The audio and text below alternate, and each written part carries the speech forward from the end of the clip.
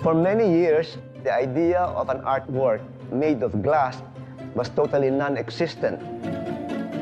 You have to understand the difficulty of working with this particular medium, and that is the reason why it has not attracted as many practitioners. The lack of knowledge of the technology behind the glass sculpture has become a hindrance actually to the development of glass sculpture in the Philippines. I'm Sid Reyes, an artist and an art critic in my country, the Philippines. The national artist for sculpture, Napoleon Abueva himself, has uh, told us that he is a master of uh, any other medium, brass, marble, stone, wood, but there's one thing that he has not mastered, nor has any knowledge of, and that is glass. And as Mr. Abueva would say, for glass, you have to go to Ramon Orlina. I am doing this for 43 years na.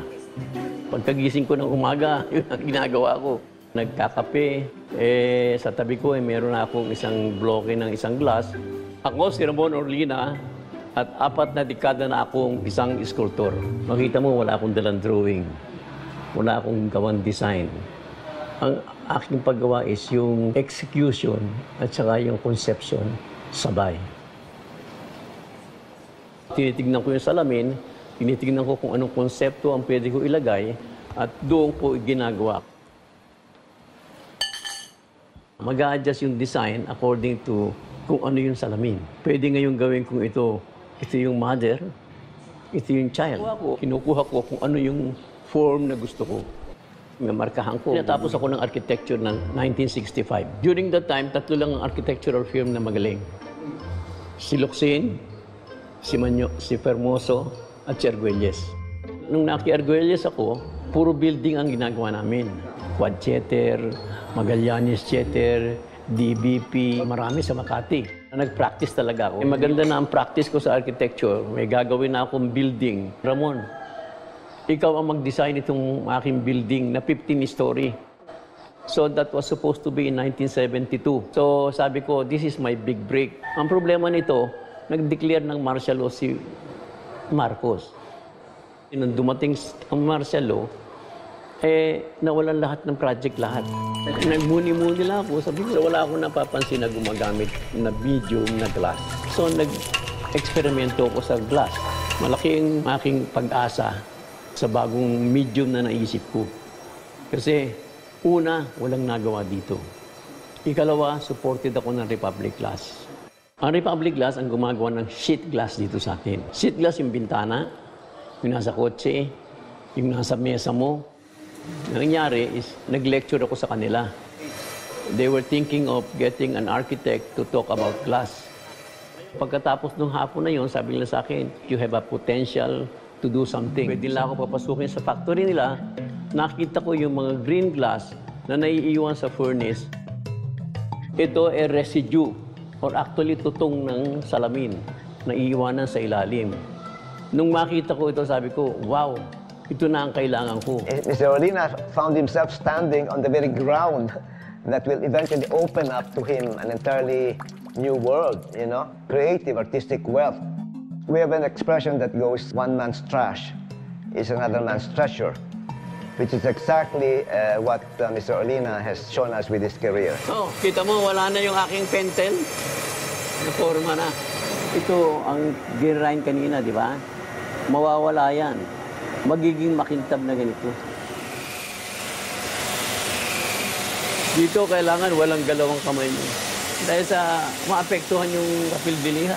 Eksperimento yung cutting yung ginagamit kong pangkat nila ng refractory. Pakita ko ng maliit na crater nila na kinuha ko na inilagay ko sa aking workshop.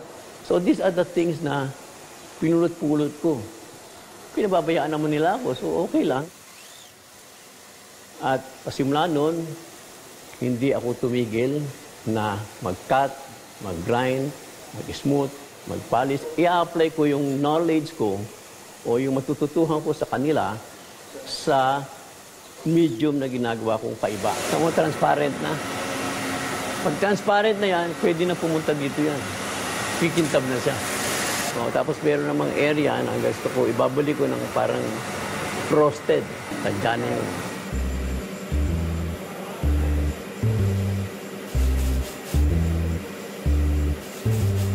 Nakasmooth ito. Tapos, poprostingan ng ganyan. Hanggang maging translucent na. Maswerte ako na nabigyan agad ako ng break. Ang una kong ginawa is 10 months.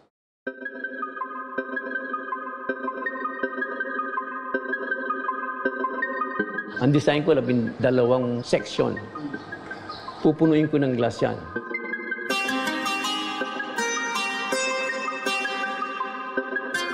Tapos may ilaw sa loob. Silver coated yung light so hindi mo makikita yung ilaw direkto.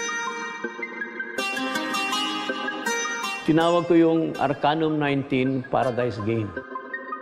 Kung sa English, tignan mo, what is Arcanum? It's secret. Kasi secret ang ginagawa ko. eh.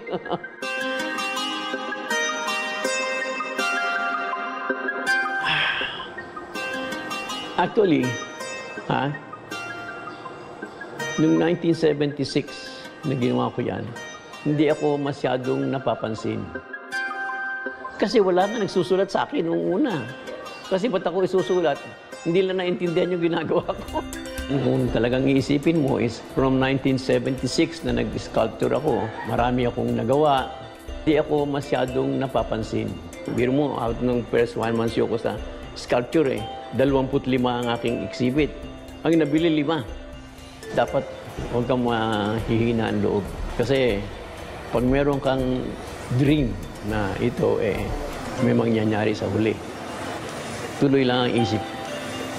Believe pa rin ako sa sarili. Importante, believe ka sa sarili mo. Kung di ka believe sa sarili mo, how can you let other people believe in you? Actually, papel diliha din ito na powder form. Kaya lang very fine, akala mo pulbos. Ganon ka-fine. Yun ang pangkintab niya. But when it was displayed, I think, in the lobby of a hotel along Ross Boulevard, it was seen by several visitors from abroad. And they marveled at looking at this miraculous creation on the wall. And they all asked, who is the creator of this? Ang pinakauna sa lahat dyan na gumawa ng fine arts sa glass ay ang mga taga Czechoslovakia.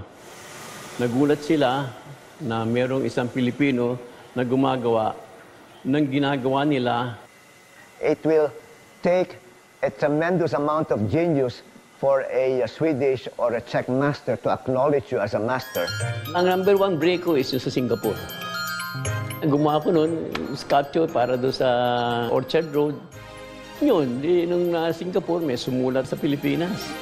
Marami na humanga, lalong nakilala ko. Tuloy-tuloy na yon. Ito yung mga chemical para sa gluing. Mas magaling doon sa mga glue ginamit ko. Ang anak ko si Ana, hindi ko alam yung technique na yun. Na napag-aralan niya, nagulat ako. Pag nakita mo ang trabaho niya, magugulat ka. Pati ako nagulat eh. So, pinapunta ko siya sa Washington, then sa New York. Pagdating niya sa New York, dinala niya yung trabaho niya rito. Sabi nga ng kaibigan ko, Oh Ramon, I think your daughter will surpass you. If she surpasses me, I'm happy. Importante sa artist ang turuan mo yung iba dahil sa may continuity, di ba? Nung bago pa ako nakapasok dito, isa po akong tricycle driver. Bago ako pumasok dito, wala akong alam. Natuto ako dahil kay Boss Den. His works in glass speak for themselves. Itong museum ko is five years ago na ito eh. I dedicate this to the young people, you know. Kasi nung bata ako, wala akong napuntahan gallery. Progressor ang aking trabaho from the beginning na nakikita mo rito from 1975. Makikita mo yung development. I'm very happy na after four decades, masasabi nila na ah, ako raw ang father of uh, Philippine glass sculpture. What I'm doing, whatever it is, it's for my art, of course. If not the leading light in the field of glass sculpture. He is recognized as the foremost glass sculptor not only in the Philippines but all over Asia.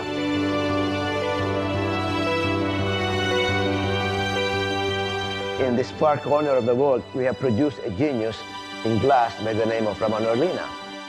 And for that, the country is indebted.